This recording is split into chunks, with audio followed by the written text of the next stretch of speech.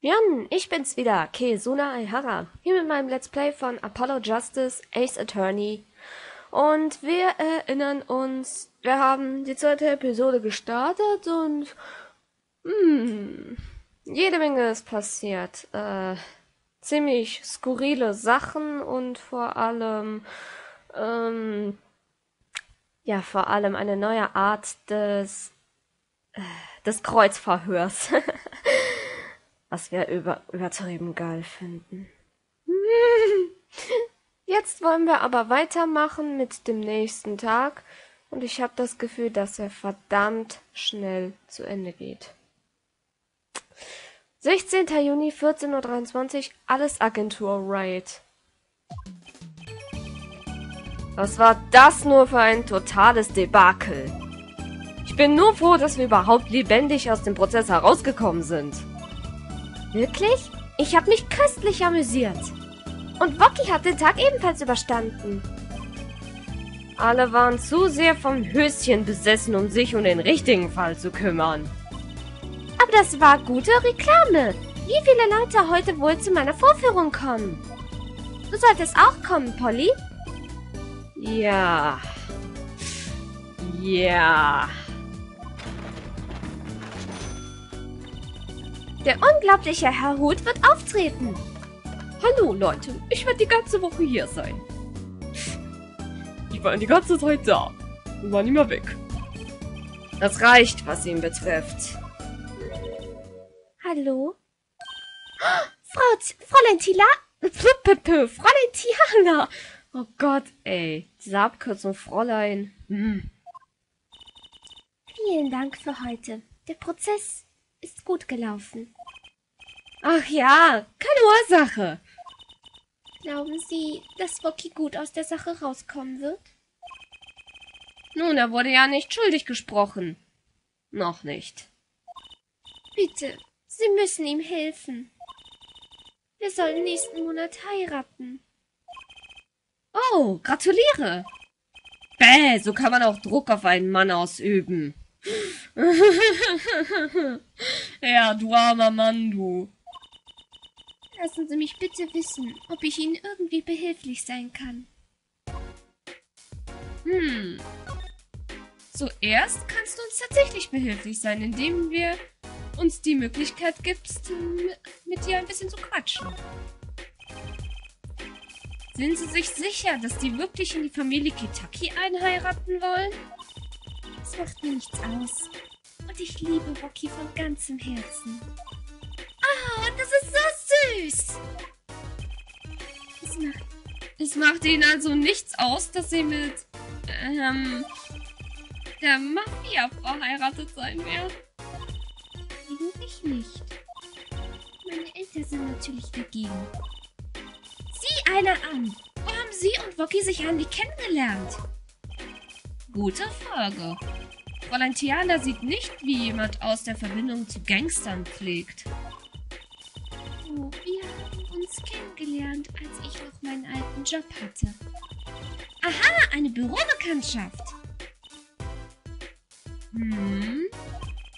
Sie wirkt nicht gerade sehr gesprächig, wenn es um sie selbst geht. Was ist der Grund? Wussten Sie, dass der Boss versucht, sich aus den Geschäften zurückzuziehen? Äh, wirklich? Herr Kitaki will aufhören, ein Gangster zu sein? Er versucht, sein Kapital mit einem normalen Firma zu transferieren. Er hat es erst kürzlich bekannt gegeben, völlig überraschend. Ich habe gehört, dass das unter seinen Leuten für ziemliche Unruhe sorgt. Hm, ich frage mich, ob das diese Schürze erklärt. Ja. Ich kann mir nicht vorstellen, dass Rocky damit einverstanden ist. Er ist ganz schön motiviert, nicht wahr? Ähm, das ist wohl nicht ganz der Ausdruck, den ich dafür verwendet hätte. Er sagte, ich werde der nächste Big Boss sein und die Familie am Leben erhalten. Ich glaube, er ist in einem Alter, in dem Jungs eine Duftmarke setzen wollen.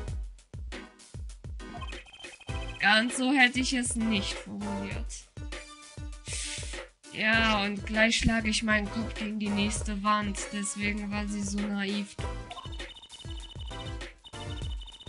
Sein Vater bewegt sich in vielen Kreisen. Er ist voll aufs Geldmachen konzentriert. Na komm. Die Familie Kitaki hat in letzter Zeit mörderische Gewinne verzeichnet. Auch das hätte ich wohl anders formuliert. Puki sagt, dass es nicht ums Geld geht. Es gilt, die Gangstertradition zu bewahren. Oh, eine Gang eine Generationenkonflikt. Ein echter Klassiker. Normalerweise sorgt sich der Vater um die Tradition. Ja, stimmt, hier ist es mal der Sohn. Mal eine willkommene Abwechslung. Darf ich Ihnen eine Frage zu Rocky stellen? Wie ich gehört habe, wurde er vom Opfer Dr. Meraktis operiert. Anscheinend, ja. Ich war vor einem halben Jahr in seiner Klinik. Er hat meinen Opi ganz schön vermasselt. Und dann hat er mich einfach gehen lassen, ohne ein Wort. Bis die Tage, ciao. Ich, ich musste wieder hin zu einem anderen Arzt, damit er mich wieder zusammenklickt. Ja, das klang schrecklich. Puki hat schon immer gern gekämpft, fürchte ich. Ich bin mir nicht sicher, ob es als Kämpfen gilt, wenn Pistolen im Spiel sind. Staatsanwalt Gavin hat gesagt, dass sein Leben in Gefahr sein könnte, nicht wahr? Nein, das kann nicht sein. Ich bin mir sicher, dass er uns nur Angst machen wollte. Es ist beängstigend, dass ein Chirurg einen Fehler machen kann. Aber es ist noch beängstigender, wenn er versucht, ihn zu verbergen. Ich wüsste gern mehr über diese Operation. Vielleicht wäre es mal an der Zeit, der Meraktis-Klinik einen Besuch abzustatten. Ich sollte jetzt nach Hause gehen.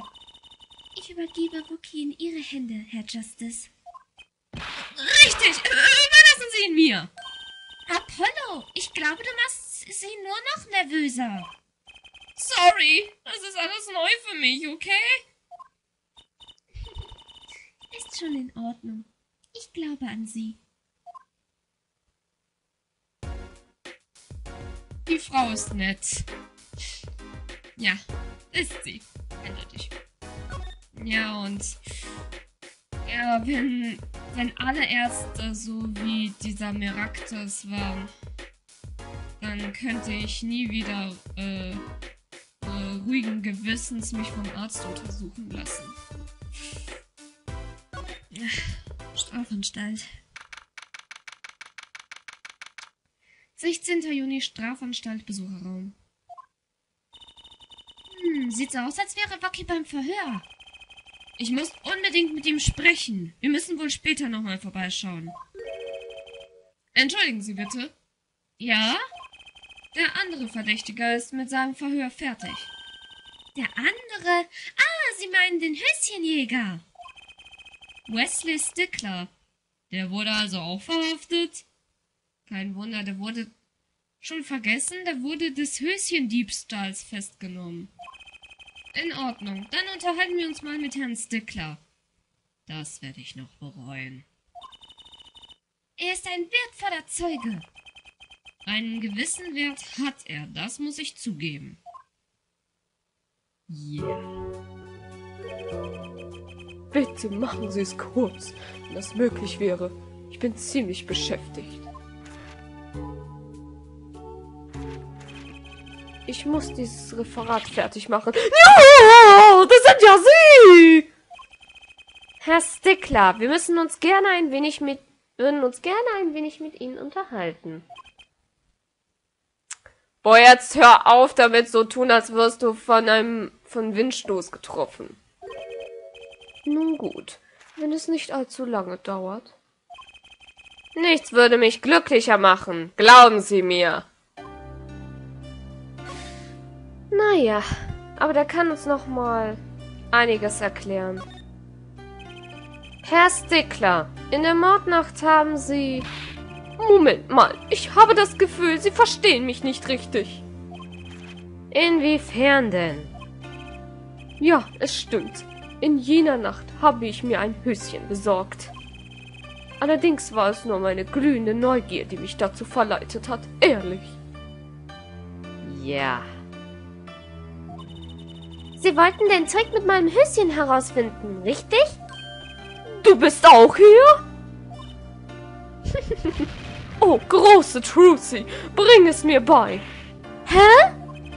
Ich muss das Geheimnis deines Höchens in Erfahrung bringen. Meine gesamte Existenz hängt davon ab. Bitte, mach mich zu deinem Lehrling. Say what?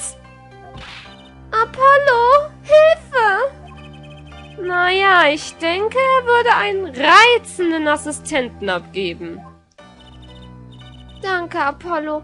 Herzlichen Dank auch. Gerne. Könnten Sie uns nochmal erzählen, was Sie in der Mordnacht gesehen haben? Warum nicht? Auch wenn es kaum von meiner Aussage vor Gericht abweichen wird. Der Angeklagte war in jener Nacht im Park. Dessen bin ich mir ziemlich sicher. Er hatte eine Pistole oder so etwas auf das Opfer gerichtet. Da habe ich gerufen, hören Sie auf, lassen Sie uns das wie Ehrenleute regeln. Und im nächsten Moment ist ein Schuss gefallen. Und das stimmt alles? Wirklich? Mein Höschen ist weg. Mein Innerstes wurde nach außen gekehrt. Welchen Grund sollte ich haben, jetzt noch zu lügen? Was sollte er wohl noch mehr verheimlichen wollen als seine Höschenjagd? Es klingt so, als wäre Woki trotzdem am Tatort gewesen. Wie ich mir doch wünschte, dass dem nicht so gewesen wäre. Ja, und das war's auch schon wieder mit dem lieben Herrn Höschenjäger. Mehr brauchen wir auch nicht von ihm. Ähm, als nächstes gehen wir mal ins Anwesen der Kitakis. 16. Juni Kitaki-Anwesen. Herrje, sie ist wieder da. Ach, wieso Herrje? Die ist doch nett. Hey, ihr zwei, da drüben. Äh, wir? Oh, Little Plum, was geht ab?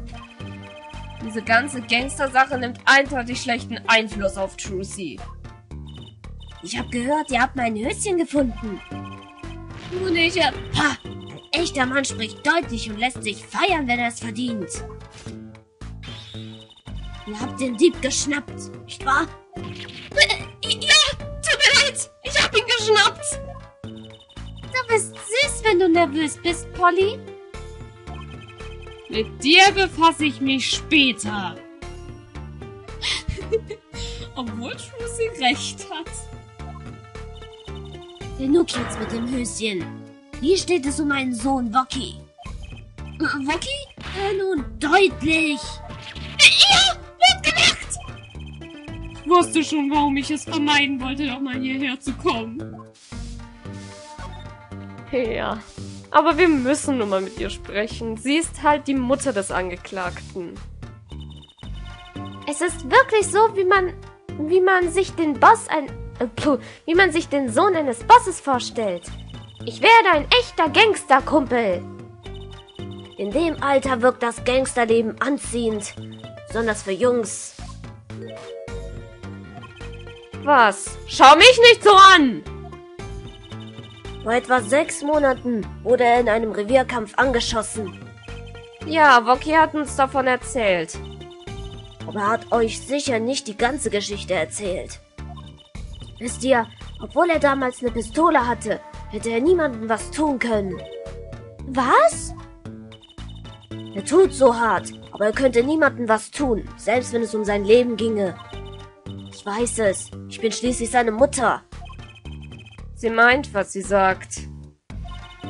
Wenn das alles vorbei ist, können er und der Boss hoffentlich ihren Streit begraben. Der Boss? Sie meinen Wokis Vater? Sie machen keinen besonders harmonischen Eindruck, nicht wahr? Naja. Stimmt. Eine unserer Pistolen fehlt. Die Mordwaffe kommt also von ihrem Anwesen. Das haben wir uns gedacht, denn es ist heutzutage schwer, an eine Waffe heranzukommen. Unser einfaches Fußvolk hat keinen Zugang zu Schusswaffen. Nur der Boss, eine Wenigkeit und Bocky hätte sie nehmen können. Ich verstehe. Ich bin sicher, dass sich die Bullen weiter überall auf dem Anwesen rumtreiben werden. Vielleicht ist das ein Zeichen, dass sich was ändern muss. Sie wirkt jedenfalls nicht allzu besorgt.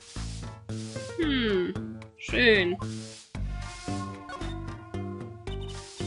Ja, Bockys Verlobte. Sie heiratet nächsten Monat, nicht wahr? Sieht so aus. Sie hat hier in letzter Zeit die eine oder andere Nacht verbracht. Sie wirken nicht gerade glücklich darüber, Little Plum. Wie kommst du drauf? Das ist sogar mir aufgefallen. Trololol. Man muss aber auch schon blind sein, um das nicht zu merken. Könnten Sie uns mehr darüber sagen? Boki hat sie eines Tages mit nach Hause gebracht. Hat gesagt, er will sie heiraten. Kann ich verstehen. Sie ist ja auch sehr hübsch. Oh, das ist sie. Aber wisst ihr... Ach, ich bin einfach nur misstrauisch. Wenn man so lange im Geschäft ist, dann sieht man irgendwann nur noch das Schlechte in den Menschen. Man bekommt eine Nase dafür. Eine Nase für Menschen. Eine Nase für Ärger. Hm, was könnte das Problem sein? Eine gangsterspezifische Version weiblicher Intuition. Danke, Trucy, für die nette Übersetzung. Auch wenn der Boss hart mit ihm umgeht, der Junge bedeutet ihm alles. Aber Bocky scheint... Es scheint, als sei er gegen seinen Vater. Ah, das ist ganz normal. Wir befinden uns gerade in einer Übergangsphase. Wir wollen den Weg des Schatten verlassen und uns dem ehrlichen Geschäft zuwenden. Bocky ist von dieser Sache nicht sonderlich begeistert, das ist wahr. Aber warum dieser Wandel? Zahlt sich das Gangster-Dasein denn nicht mehr aus? Das tut es. Aber im Moment brauchen wir viel Geld. Sauberes Geld, meine ich. Ich verstehe. Hm, da ist was im Busch. Er sieht die Dinge genauso wie der Boss. Irgendwann. Also stimmt es, was Alita gesagt hat. Die wollen tatsächlich ähm, mit ihrem Gangster-Dasein aufhören. Stellt sich nur die Frage, warum? Was ist der Grund dafür? Naja, untersuchen wir nochmal diesen Mülleimer. Dieser Mülleimer, da haben wir den später gefunden. Denk doch mal nach. War da nicht noch was anderes drin? Fast ganz am Boden? Guck mal, die Farbe da. Das bedeutet, die sind nach dem Unfall hier gelandet. Vielleicht hängt das zusammen. Nehmen wir sie mit. Vor allem, was ich auch so logisch finde. Zuerst konnten wir nicht beide Sachen mitnehmen, aber jetzt geht's auf einmal. Etwa wegen dem Höschen oder was? Ah, Logik. Wo ist unsere Logik? Ähm, wo gehen wir als nächstes hin? Ah, genau, zu Eldun. Bericht erstatten. No! Doch! 16. Juni, Elduns Haus. Hey, da ist Herr Eldun. Hallo, Herr Eldun. Hm. Alles in Ordnung? So, ihr habt also meinen Stand gefunden. Deshalb bin ich hier, um euch zu danken. Jetzt ist ein Tatort und sie geben mir nicht wieder zurück. Deshalb bin ich hier. Es gibt keinen Ort, wo ich sonst hin kann. Ah, verstehe. Wie kann ein Nudelstand ein Tatort sein? Das verstehe ich einfach nicht, Lucy Püppchen. Sogar im Tode noch will er mir an den Kragen, das schwöre ich dir. Bah! Nicht mal richtige Nudeln kann ich kochen. Er? Sogar im Tode. Meinen Sie etwa das Opfer, Dr. Meraktis? Genau den. Es reicht aus, um einen Mann so weit zu bringen, seine Suppe noch kräftiger zu salzen. Ich sollte seine Nudeln besser nicht essen, wenn er schlechte Laune hat. Ja, am Ende werden wir noch von dem Salz vergiftet. Hm. Dieser Stand. Vor viele Generationen haben die Elduns hier beste Nudeln serviert. Die Tradition aus Nudeln und Salzbrühe. Ist mehr als nur ein Stand. Ist ein Stück Geschichte. Pass auf, was du sagst. Ein, es könnte wahr sein. Das ist eine großartige Geschichte, Herr Eldun. Ein Stand, der von einer Generation zur nächsten weitergegeben wird. Na, ganz ehrlich, ich hatte eigentlich ganz andere Pläne. Das ist richtig. Sie haben davon erzählt. Sie hatten sich gegen ihren Alten gestellt, nicht wahr?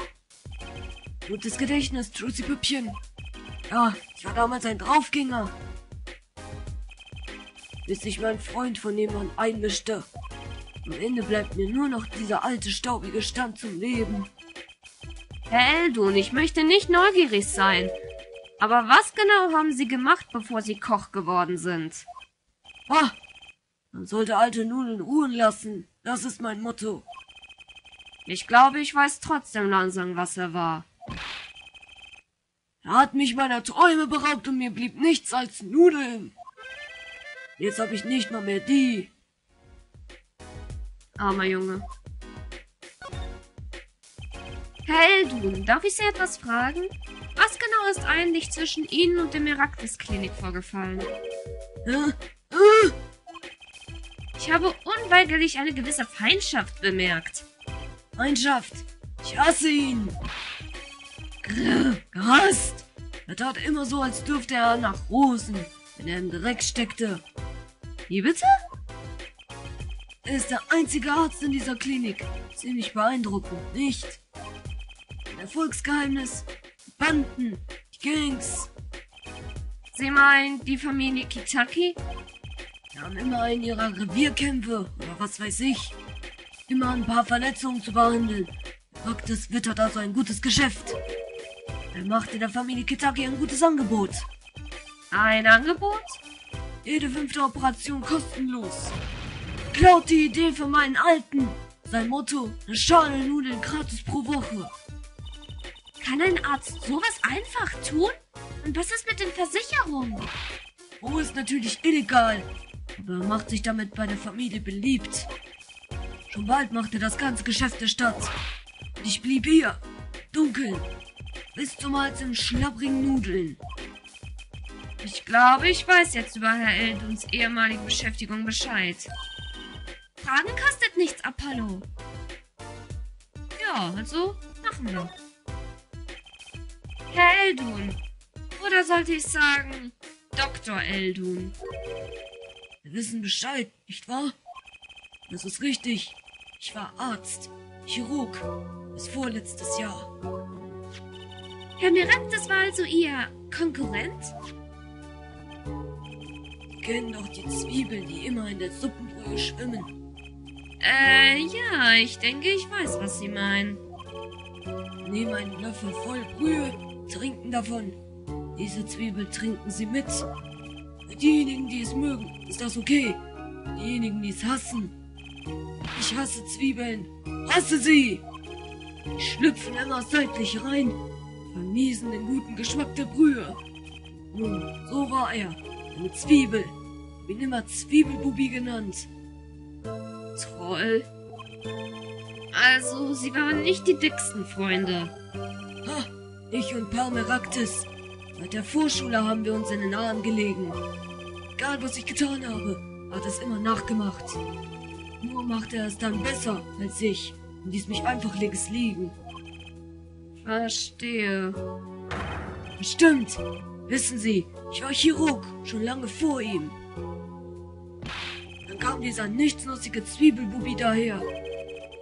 Nun, Trucy, sieht so aus, als hätten wir einen neuen Verdächtigen gefunden. Das kann nicht sein! Und ihm musste ich mein Skalpell gegen einen Schöpfkäpfel tauschen. Tut mir leid, Junge. Wollte Sie nicht mit dem Geschwätz eines Alten belasten. Nein, das ist schon okay. Als Entschuldigung.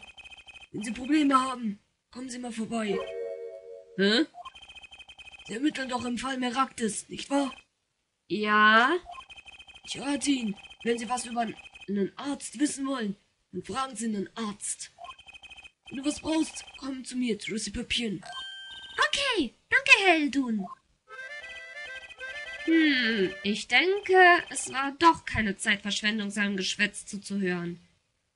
Oh ja, sein fachmedizinisches Wissen könnte uns später nochmal nützlich sein. Nochmal ganz kurz etwas untersuchen. Ich meine, es war hier das Polizeiauto. Vor der Meraktis-Klinik parkt ein Polizeiauto. Niemand drin. Die Polizisten ermitteln bestimmt in der Klinik. Dementsprechend wohl die Tür, oder? Vordereingang der Meraktis-Klinik. Die Hauswand und die Posten sind so stark poliert, dass, ich mich darin, dass ich mich darin sehe. Moment! Meine Frisur ist zu Platz! Okay, perfekt.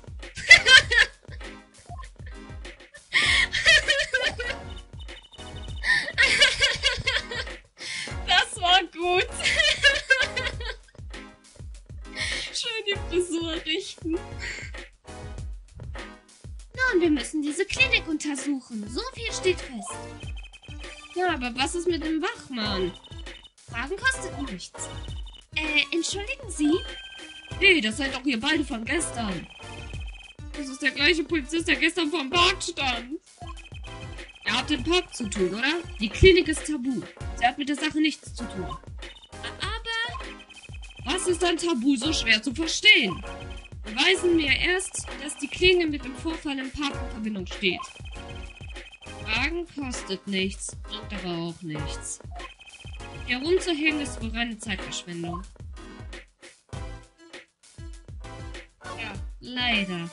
Und hier gibt's auch nichts mehr zu tun. Und ich sage erstmal kurz Pause und dann geht's weiter. Servus.